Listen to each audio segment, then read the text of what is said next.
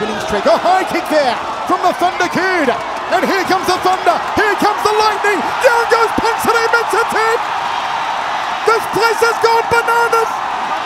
The Thunder Kid. The Thunder Kid.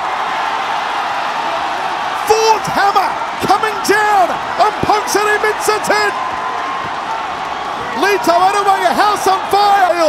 And down they go to one. Trying to shove that arm into his legs. Looks like it might.